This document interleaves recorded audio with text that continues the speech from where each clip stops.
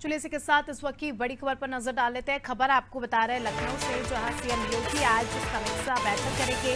छत्तीसगढ़ के चुनावी दौरे से लौट कर ये बैठक होगी और शाम सात बजे सीएम आवास पर समीक्षा बैठक होगी। दीपोत्सव, त्यौहारों की तैयारी पर समीक्षा बैठक होगी। बैठक में प्रमुख सचिव, गृह, डीजीपी, स्पेशल डीजी, एएलओ समेत कई विभागों के प्रमुख सचिव इस बैठक में मौजूद रहेंगे।